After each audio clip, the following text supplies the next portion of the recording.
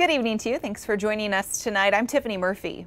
And I'm Greg Kerr, social distancing. We begin tonight, Beaumont firefighters and event planners preparing for the city's July 4th fireworks display, but COVID-19 is forcing the city to scale back the event. KFDM's Paige Hubbard is live near the event center in downtown Beaumont. Paige?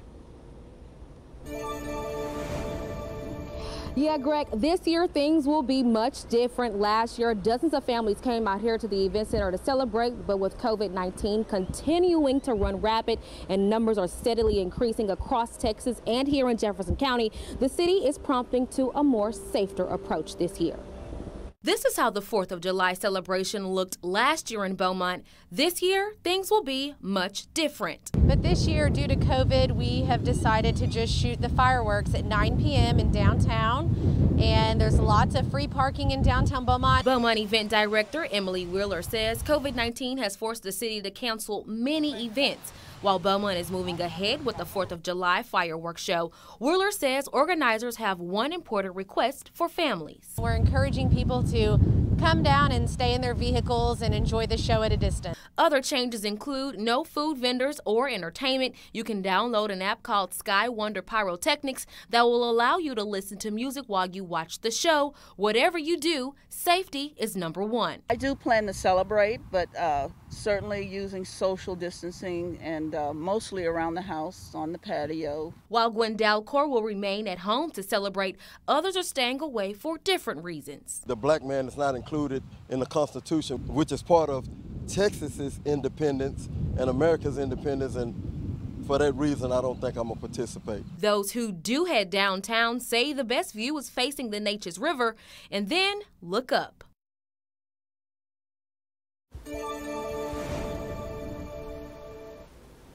And while Beaumont is continuing to move forward with their 4th of July celebration, many people are prompting to the old-fashioned way, and that's staying at home. KFDM's Victoria White is up next to tell us how people here are celebrating the 4th of July at home. Victoria? Anastasia Seipel is shopping at Jake's Fireworks. Like many people, her 4th of July celebrations have changed because of COVID-19. My son's birthday is so close to the 4th of July, we usually have a big party, and this year we're not doing that. Seipel is going to a small gathering at a close family member's lake house, about six people. She says they'll be social distancing and wearing a mask in public. For the Seipels, avoiding COVID-19 is an utmost concern. My son is three and I'm pregnant, so um, we are a little worried and we do try to stay home most of the time. And um, yeah, doctor's appointments are a little different Nobody can come with me. The co-owner of Jake stresses fireworks safety, like adult supervision, having a bucket of water on hand, lighting them on solid ground and away from a crowd.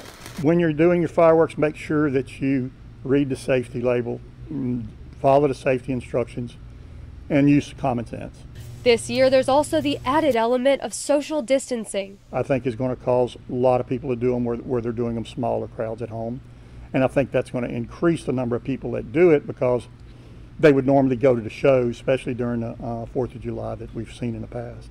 Jake's is seeing an increase in first time buyers and about a 20% increase in sales per customer as those like the Seipels do their part at preventing COVID 19. We don't want to gather with too many people and just still socially distanced. And having fun this 4th of July.